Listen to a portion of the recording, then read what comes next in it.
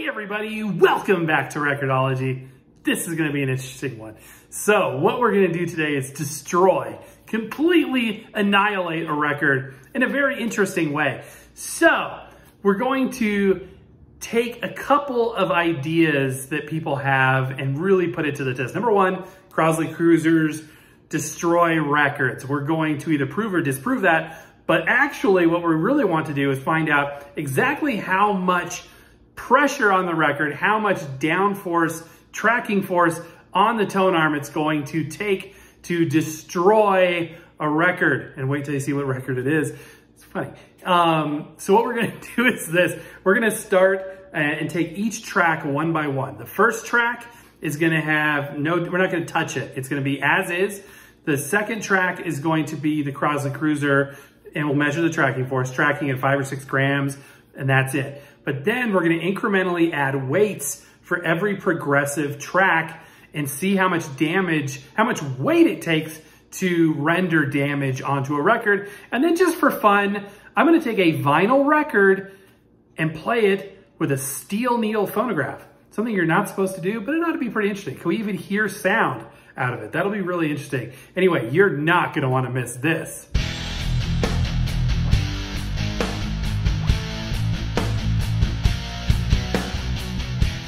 What better record player to destroy a record with than the infamous Crosley Cruiser? It's a third gen cruiser, but you know it's just gonna ruin your records. So we're going to use it to do just that. So we're gonna plug it in. We're gonna try it initially just with the weight as is, which we'll measure and show you all that good stuff. But we need a record to ruin. What record? Oh, this one ought to work. so we're going to use this as our test subject. The record itself is clean. It is a pretty good copy, as you can see there. It's in pretty good shape. It's not brand new. I mean, it has been played, but there's no damage to it. I just want to show the before. Then what we're going to do is add weight for every incremental track and then compare it at the end. We're going to put a label on here and show you zero, there'll be nothing. We're not going to touch the first track. This one's going to be six grams. This one's going to be, you know, eight or whatever we do. And we're going to put weights on the tone arm as we progress. So let's go ahead and set up.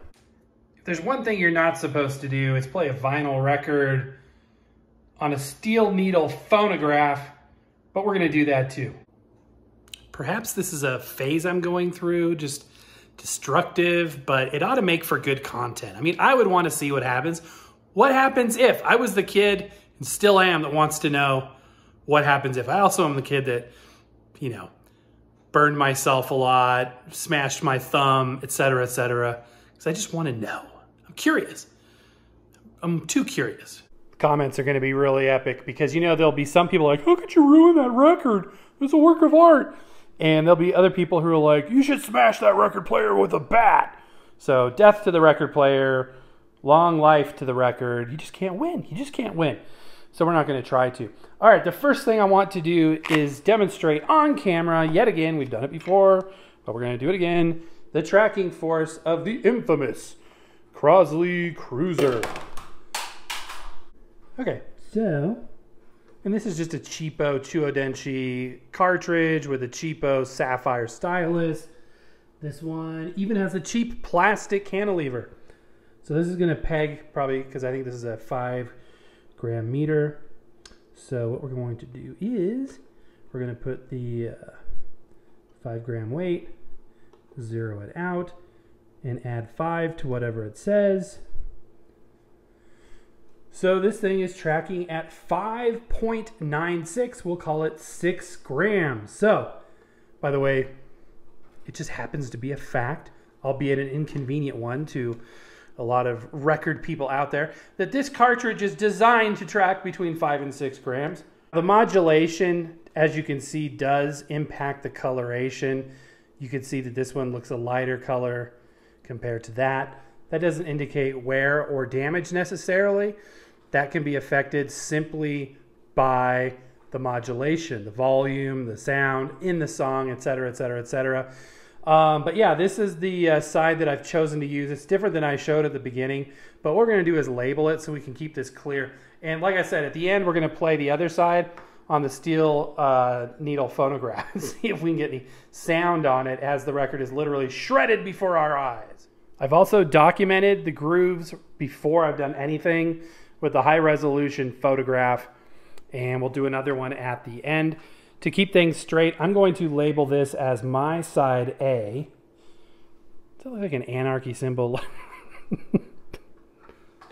Didn't mean to, but might as well go. For, it's kind of an anarchist type of episode, I guess. So, like I said, the first track is our control. We're not going to touch it. Track A or 1 is going to be untouched. The second track is going to be with just the 6 grams of downforce that this record player will render on any average day, and then we'll add the weight progressively. So, without further ado, I'm going to cue this up and we'll see what happens. Okay, and there it goes. Carving up track two. Yeah, this is the cheapest of the cheap cartridge. The plastic cantilever and what I'm sure is a sapphire tip. Yeah, this is about as rough and tumble as you can get on a modern record player. Okay, we are nearing the end of the track.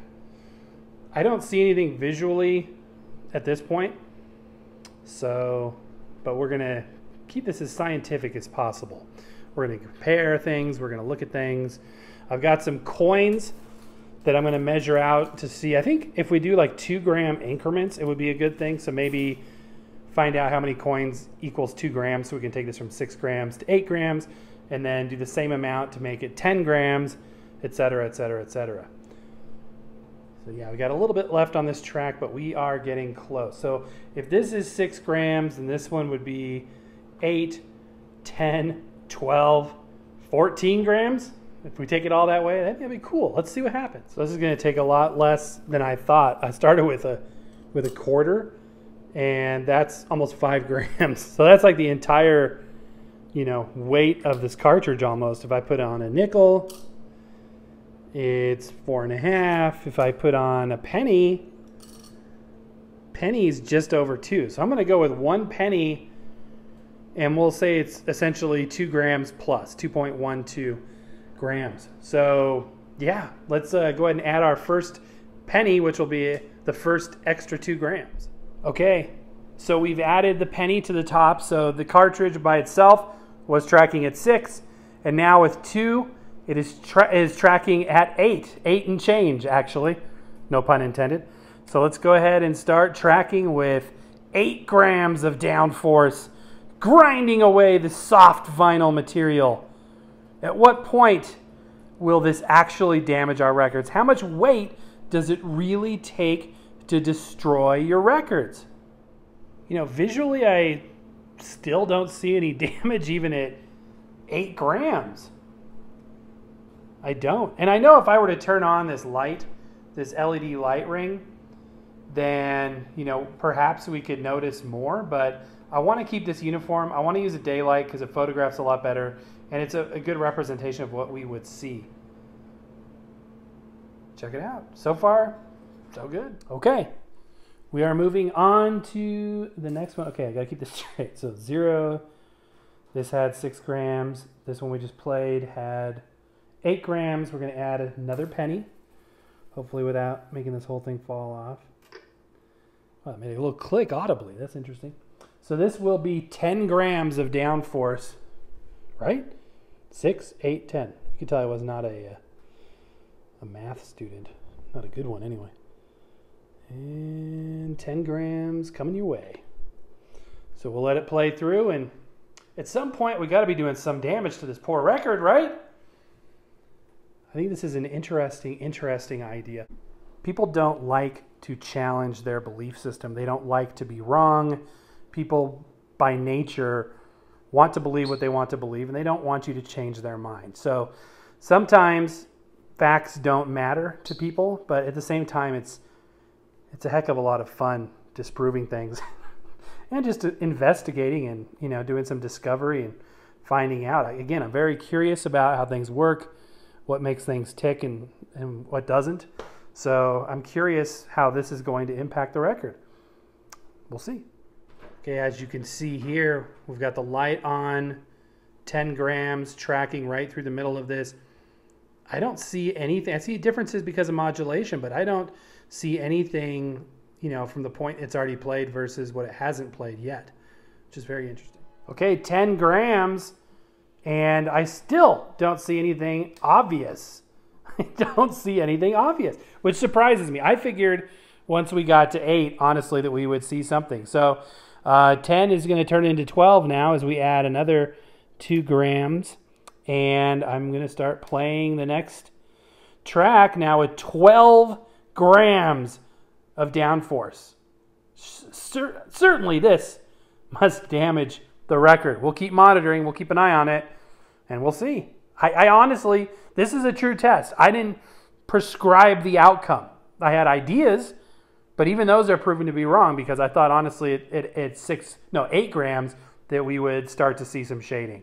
But so far not. Now, there are other factors. This is a conical stylus, so it's not riding all the way down in the groove. If you had an elliptical stylus, you would it would take a lot less weight to do that kind of damage. An elliptical stylus really needs to be tracking, depending on the cartridge, in the one and a half to two and a half zone for, for the most part. A conical or rounded tip stylus can track heavier. And like I said, these Chuo Denshi uh, phono cartridges, these ceramics, are designed to track in the uh, five to six range, which this does, just under six grams by itself.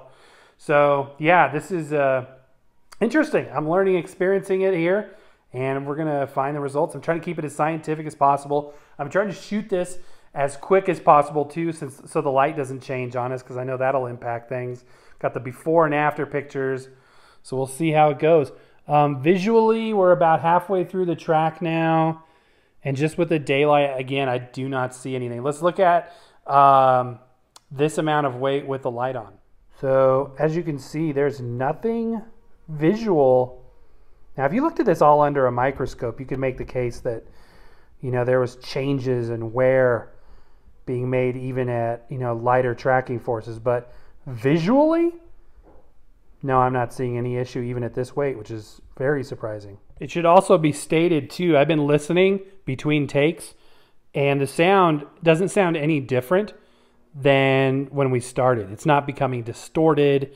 It's not sounding, you know, you know, like it's got sibilance issues or something. It's it sounds as good as it started sounding, which is interesting. So the record you know, there's there's things out there saying these records can handle up to nine grams. Now we've surpassed that because we're at four, what are we at 14 now? We're at 6, 8, 10, 12. We're at 12 grams right now and about to be 14, and so far no problem. Speaking of which, um, that's the end of that track, and we're going to add our final weight, bringing our grand total to 14 grams. 14 grams as we finish out this record. And so far, you tell me. I'm trying to. This is a visual thing. You guys can make your own assessment. The comments, I don't need to tell you, will be interesting to read. Half the fun of videos is comments. Sometimes, if I'm watching TikTok, especially, look at the comments.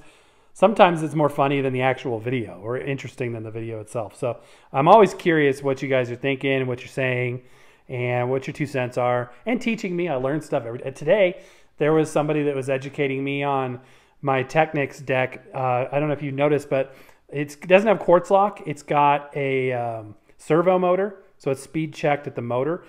And even still, the strobe doesn't stay perfectly still. It kind of drifts like this, just a tiny, tiny bit. And he was saying that that's a desirable trait that it actually helps keep it keep the sound from being, you know, kind of dull and lifeless. So you learn something every day. Now, keeping in mind too, this is all extremely subjective, and you know sometimes people are going to be wrong. I've you know, made a whole YouTube channel about learning. you, you thought I was going to say a whole YouTube channel about being wrong. Well, I've definitely been wrong at times, but I've been right. I would think quite a few more times than I've been wrong. Hopefully, this uh, video entertains and educates people as well. Let's go ahead and uh, zoom in with the light on again and see what things are looking like. 14 grams. That's a lot of downforce. I wonder if it's causing the needle itself to kind of flex or the cantilever. Well, it's definitely uh, scraping some gunk out of the grooves there. It's hard to say how bent that really is, but it's it's hanging in there. It's it's handling it like a champ, actually. Okay, we just finished our pass with the full weight, 14 grams. I mean that that is way more. I mean that's more than double where we started. That's a lot of weight, but did it damage the record? Now something came to mind too as I was waiting for this to finish, and I actually did listen. There was a little bit of sibilance issues uh, just kind of like the S's kind of get mushed, like kind of the S's sounded not quite as crisp on that last one there, uh, which could be you know due to the intense weight that we were putting on this. But you know the sound was listenable throughout. I thought that by the time we got about halfway, this thing would just start shading so white, white, white because it was just being scratched up. This is a vinyl record, by the way. If you did this to styrene, it would probably be a different story. That's another show for another day. But I want to do uh, an after picture now, and I'm going to label the record so we can take a closer look. Okay, so we have this labeled here uh, with our control surface, which is the one that we didn't play at all. It's not pristine virgin vinyl because this is a used record, but it's a very good condition one. This is the Crosley Cruiser at 6 grams, as is with no extra weight. Then we added up to 8 grams. This had 10, 12, 14. So let's let me set up a shot where we can see in closer detail with better lighting if we can notice any damage. Okay, and welcome to my front yard. I don't think we've ever filmed out here before. I thought it would be good to bring this out in the daylight so we can see those grooves in detail and hopefully ascertain whether or not there is any damage here. To the naked eye, this looks fine. I don't see anything, even at 14 grams, I don't see anything that looks like damage or even heavy wear, which is surprising.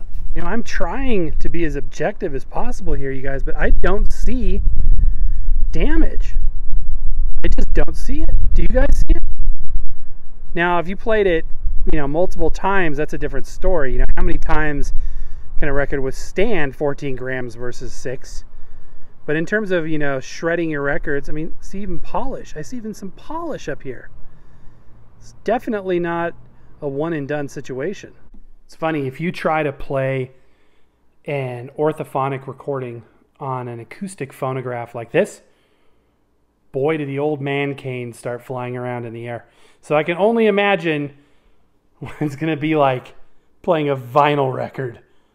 You're not supposed to do this. This is this is there's no I know the outcome of this. It's not going to be good. But I'm curious, could you hear something? So we're going to use the opposite side. This is the one we haven't yet used in this oh so scientific test. Something I've always wanted to do. Let's check the tracking force of this thing. I'm curious. Okay, so there's 28.53 or something grams in an ounce. So I put this on ounces because this is heavy. I can tell you right away, this is not going to be five grams or less. This is a heavy, heavy reproducer. So I don't even know if the scale can, you know, measure this, but let's see what happens. All right, so it pegs out let me see if I put on the weight and zero it out. I feel like that's not even gonna matter. That's it's just so heavy. It's just so heavy. Yeah, it pegs it out. So yeah, I gotta figure out another way to measure this. Well, that's because this thing tracks between 100 and 200 grams. that's right, 100 to 200 grams. So a vinyl record is absolutely doomed. Hope you guys are excited because I actually kind of am. I got this wound up. Obviously, this will be spinning at 78 RPM, which is going to render this kind of cartoony sounding. And what's funny about this too is that this is a microgroove record. This is a three mil stylus. This is the type of stylus designed to track a wide groove record, you know, like a shellac record. So uh, let's go ahead and uh, I'm going to drop it right in the middle of the third track.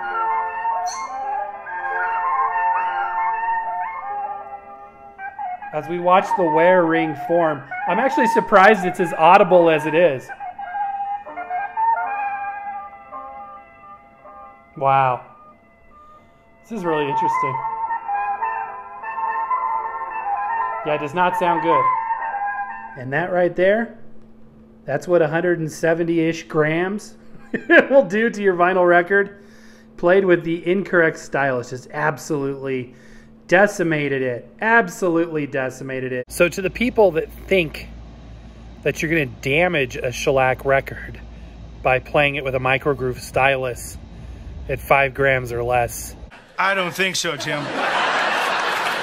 I honestly thought we would see a wear ring that clear as we got up to eight grams with the other stylus. By the way, let's flip this over.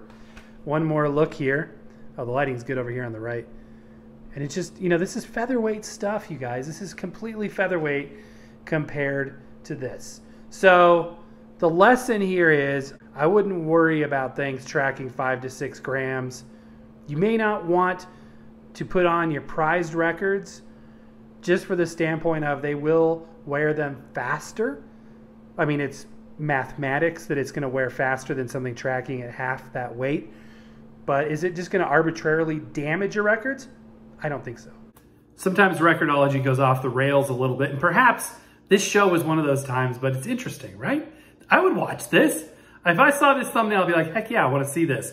It's sort of a tabloid kind of uh, watching the train wreck kind of a thing, but it's fun, it's interesting, and now that we've done it, you don't have to do it, and we all know exactly how much weight it takes to really damage a record we all are a little more educated now at this point. I hope you guys enjoyed this. If you did, give me a thumbs up. Subscribe if you haven't done so. But my friends, that is gonna do it for today. Oh yeah, join the Vinyl Nation, why don't you? We have some really cool content over there. Extra show a week, other exclusive benefits. Would love to have you there. There's a link down below. There's also merchandise links if you're interested in that. But most of all, just thank you for being here. Have a wonderful, wonderful week. Happy record hunting, and we'll see you next time.